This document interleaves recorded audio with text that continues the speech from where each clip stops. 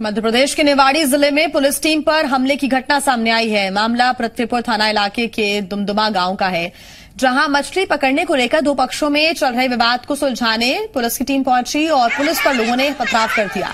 ग्रामीणों के गुस्से को देख पुलिस टीम ने मौके से जान बचाकर भागना ही मुनासिब समझा। फ़िलहाल पुलिस ने मामले में कुछ आरोपी गिरफ़्तार किया है, केस दर्ज कर जाँच शुरू कर दी है। जिस पार्टी ने करीब एक महीने पहले जो स्टे लगवाया था, वो पार्टी ये जब तला खेल रहे थे तो इन लोगों पे पथराव करने लगे। जिसकी हमें सूचना मिली तो हम लोग पहुँचे तो ये लोग अनावश्यक विवाद कर रहे थे। इस पर से हमने पुलिस बल को बुलाया और वो लोग भाग गए। कुछ लोग दो तीन लोग मिले हैं, जिन पर जो जिन लोगों पर हमला किया, वो लोग आ रहे हैं, उनकी तरफ़ से वैधानिक कार्रवाई की जाएगी।